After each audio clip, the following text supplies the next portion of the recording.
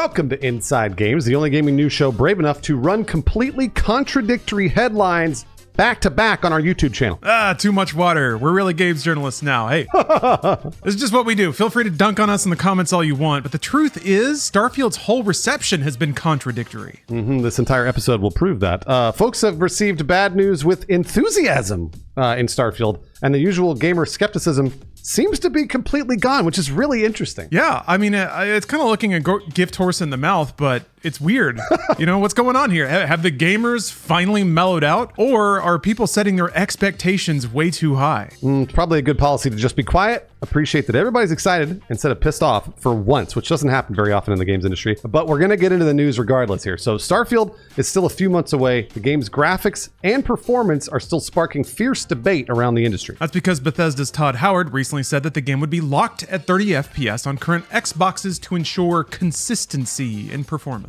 Yeah, that disappointed some, like me, who were expecting 60 FPS on modern consoles. Uh, instead, the game will only support 60 FPS and native 4K on PC. Meanwhile, other sites have been doing side by side comparisons of graphics in the game's demos and have noticed some changes from the 2022 demo versus the one from this year. As Dark Side of Gaming put it, there are noticeable downgrades in some characters' facial hair, their eyes, and other features. You can see it right here. And that drew other comparisons to game like Witcher 3, which drew heat after their final product's graphics didn't match earlier demos. I think Watch Dogs was the first one that people lost their minds over. I remember that. Uh, DSO writer John Papadopoulos wrote, and if the media criticized The Witcher 3 or Watch Dogs or other games for their downgrades, they should as hell criticize Bethesda for their lackluster characters. Yeah, yet again, it's a weird position to be in to tell people they should be madder about this thing, but. No, no, yeah, Yeah. yeah, I know what you're saying. Yeah. So, uh, what are we dealing with here? We got last gen frame rates and obvious visual downgrades? Well, the gamers must be furious. I'm,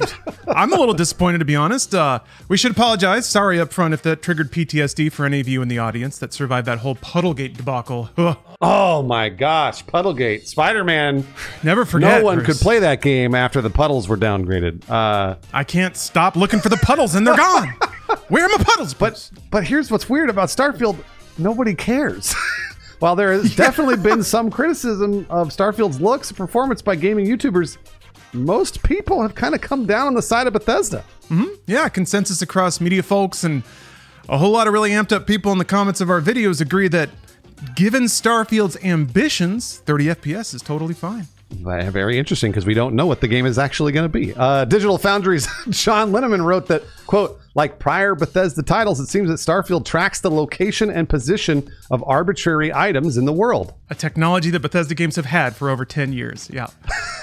Uh, he and others have used the plate of sandwiches as an illustration of why it would be tough for the game to hit 60 FPS on consoles. During the recent Starfield Direct, producer Jamie Mallory revealed that she enjoys stealing other players' sandwiches and hoarding them. That's awesome. This is that's like core Bethesda games. This is what you do. Yeah, that's great. Yeah. The sneaky producer said that I steal all the sandwiches and put them in my cargo hold that I have specifically for sandwiches. Can't wait. I, I'm, I'm going to do all that for sure. Uh, and Linneman wrote that from Digital Foundry. Uh, while it's used as a gag in the video, this sandwich pirate concept highlights one reason why 60 FPS would be tough to achieve.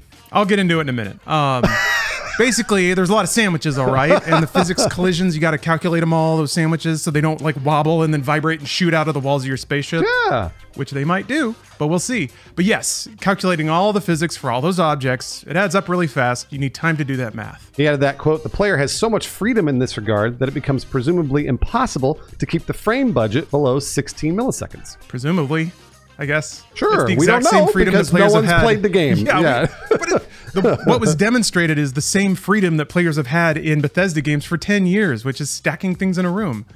Why, why does that suddenly mean that it can't hit six? Well, whatever. Again, I'll, I'll, I'll get into it. Sheesh.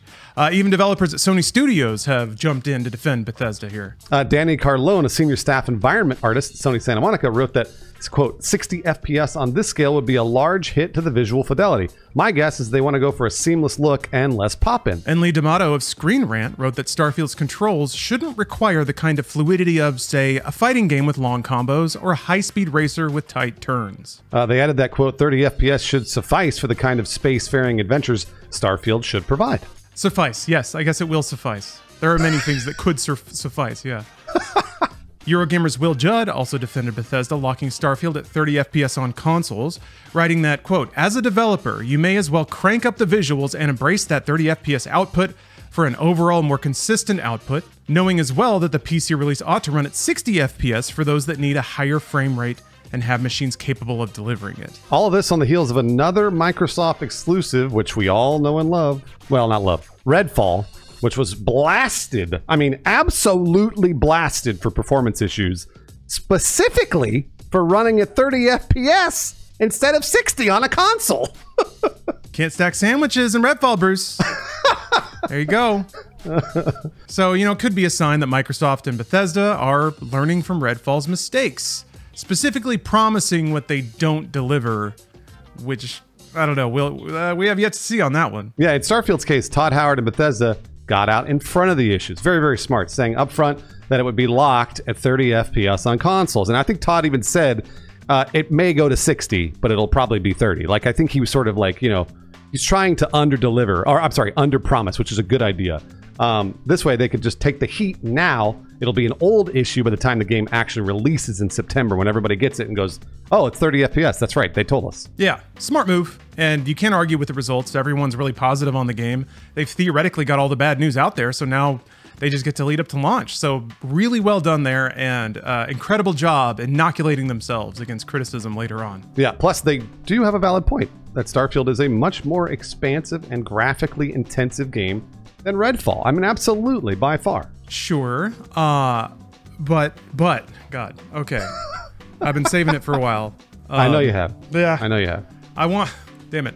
Like I've said a lot, I don't. I don't want people to be mad. I don't. I'm just worried that the skepticism is gone completely. It's just like evaporated. Pe- the gamers don't want to be hurt. Yeah. They, they've been lied to before. But we're in full on. I can do whatever I want in Starfield mode, and that's bizarre to me. It's so uh, before you launch into your editorial because I don't want people to be like these guys hate Starfield. They I don't. I've been talking about Starfield for a year. I can't wait. I'm so excited. I've been uh, waiting for the broken bugs and the terrible physics and like to run around in this world that they've because I really do love Bethesda games. I, I'm a huge fan of Skyrim and Fallout. I just I'm, I'm so excited. But also, there's a lot of contradiction and a lot of hype for something that we've barely seen. Now, before again, before Lawrence talks about this, please let's everyone remember Cyberpunk. Let's everyone remember how excited everyone got about Cyberpunk and then where everyone was let down. Don't do that to yourself this time. Don't do that. Just go in with a, just a little bit of skepticism, maybe a little more. All right, sorry, let's go ahead. I guess I guess ultimately I think I don't want to speak for you, Bruce, but I'm a little worried about the future where people get Starfield and they realize they can't do whatever they want. And that's when people start sending developers death threats. So, you know, Right, yeah. temper expectations now, but yeah, let's okay, let's get into it. All right. Uh qualifications. Let, let, let me establish why I feel a little a little qualified to say what I'm about to say. Uh, I'm a computer science graduate. Bruce, uh, you actually are too. That's right. So we know a thing or two about PCs. Uh, I've worked with PCs since I was able to afford one. I have coded my own graphics engine inside of OpenGL before. Uh, so I know how game engines work and what performance bottlenecks are. I won't presume to know Bethesda's tech and the intricacies of, it, but um, I have some idea about like bottlenecks and hardware and CPUs. And yes, I agree. There's absolute truth to everything John Linneman says about about CPU bottlenecks and physics being uh, more math-intensive things. But what I've seen from a lot of media is tons of assumptions. It seems weird. It's Yeah. like driven in reverse. They're like, oh, it's 30 F- FPS because you must be able to do all these things. That's right. But we didn't see any of that. They had 45 minutes to show something really cool and interconnected and like one event leading to another event to another event. But we didn't see any of that. And if, if anything, Bethesda games are getting less interconnected in terms of their systems. I feel like Fallout 4 and 76, from like Skyrim to Fallout 4 to 76, is almost a downslide to me of open world simulation. They, they keep things more compartmentalized and, and more stable, to be honest. We should also say we're big fans of Digital Foundry here. Like I, it's, mm-hmm. I'm, I watch their channel and I love what they do. I'm, we're not saying that they're wrong. It's more of just like they're making assumptions, and I think we're all hoping that it'll be that way. Yeah, or using yeah using that as reverse reverse justification that it must be that way since it is 30 FPS. Right. So it's it's just odd to me that everyone's assuming that there's all these interconnected gameplay systems that are that are demanding on a Xbox Series X, but we didn't see any evidence of that at all. We didn't see animals reacting to anything. They just attacked the player and died. We didn't see AI reacting to anything. Your gun's even lowered in the city. You can't hmm. shoot or do it. Like all you can do is talk to NPCs. I assume. We didn't see any anything else proving otherwise. So I don't know. In an era when like everyone's hyper skeptical of what they don't see, it seems like everybody's assuming a lot about what they didn't. So here's here's a, a theory. There's a lot of scenarios that would absolutely justify 30 FPS to me. Let's say you're on a planet and you like start a fire or something, and then you leave, and then you come back and the entire forest is burned down. Like it was calculating oh. the fire while you were gone. That'd be so cool. There's That no way. Well, There's no there might way. be. I mean, yeah, sure. know. That'd be amazing, but no way. I mean, does time pass when you're not? What I imagine is it probably keeps track of how long time has passed, and as soon as you get near it, it'll calculate it all and then render it for you. Hmm. So it's not like if you have a pile of sandwiches on your ship and you get out and walk across the planet, it's not still calculating physics on those sandwiches. It knows where you are and what's going to. I don't know. So there's there's some odd things. Where I arrive at is based on what we saw. I don't see anything that means this game can't hit a lock 60 on a console Um, maybe there is something, and and I guess like most other media, we have to presume there is. But again, we, you can only judge it on what you see. So I don't know. Um, comparisons are weird too. I mean, people have been comparing it to Zelda, open world game with a lot of physics, but that's on a, a handheld that costs twice as much and came out twice as long ago. So the fact that Starfield is being held up next to Tears of the Kingdom, which is a miracle, it's a technical miracle, but still that Starfield should outclass Zelda. It should be embarrassing. I agree. yeah. Uh, and it's it's weird that it's not. I guess the fact that you can theoretically go to a lot of pro- procedurally generated planets. Zelda clearly doesn't have that, but still, it's weird to me. Uh, I don't like being on this side of the argument. I hate it. I want to tell gamers to be more happy and and, and more receptive. Uh, but you know, I'm just I'm wondering. Bethesda's had a lot of time since Fallout 4. That came out in 2015 and then 76 in 2018. So they've had a lot of time. They're only working on three platforms, I guess, but PC is everything. But Series S and X, they dropped PlayStation. So I expected I expected a technical delivery of like we've narrowed our platforms. The Series X is like super powered. We can show what it can do. But I don't know. Bethesda Game Studios is a crowd pleaser. Everyone loves those games. Uh, so it's probably not gonna turn disastrous in the end, which is also weird. Another way that Bethesda kind of dances between the raindrops. yeah. But I don't know what what I arrived to actually, Bruce. At the end of all of it is like there were some people that could not enjoy an open world game that didn't have fully immersive GTA style police when Cyberpunk like came out. That was the thing, right? Did you see cool police in Starfield? no.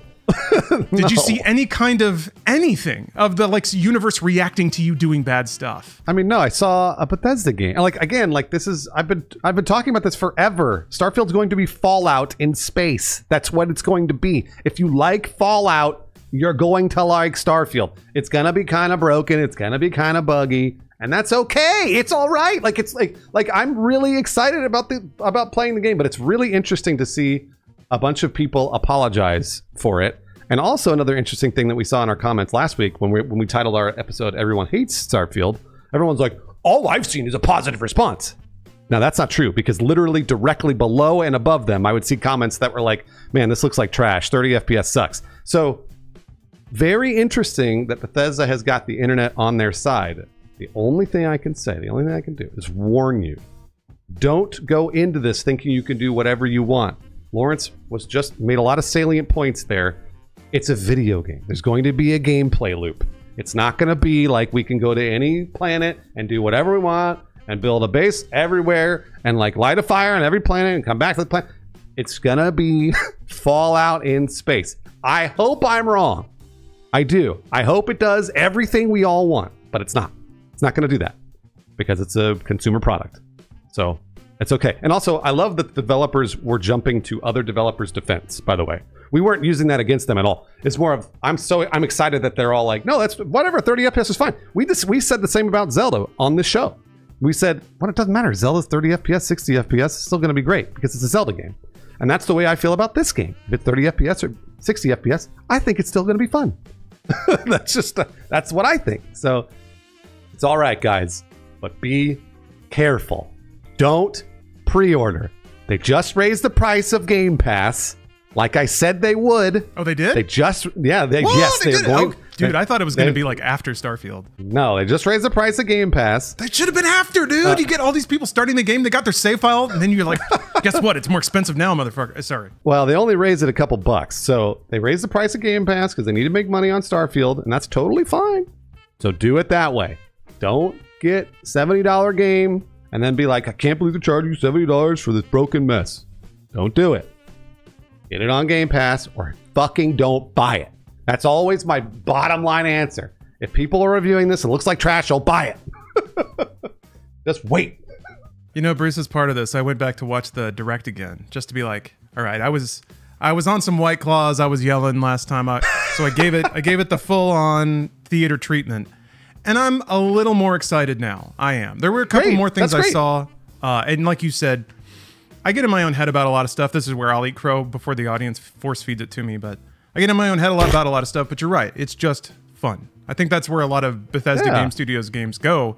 Is you can, I love it. yeah, you can get really cerebral about how it doesn't do all these things or part of it's illusionary, but it's just fun. That's what people want. It's gonna be fun. We're gonna make all a bunch of dick spaceships. It's gonna be great. I can't wait. Smash them into each other. People are gonna. I know they're gonna shit on both of us for this, but hey, whatever. And if you want to hear more of us talking about our opinions and how wrong we are all the time, there's an Inside Games Patreon, and these people are supporting that Patreon, and they believe every single word that I say. Mason Hoover, Rook, Cap Coldblood, Crab Foam, Christopher Glavin. Thanks again for believing everything I say. I've got a handful of patrons that believe everything Todd Howard has ever said. And guess what? They're happy. Go to sleep. No problem every night. Sherwin Sanchez, Zach DeHack, Sean McLaughlin, and Charles Gard. Keep believing.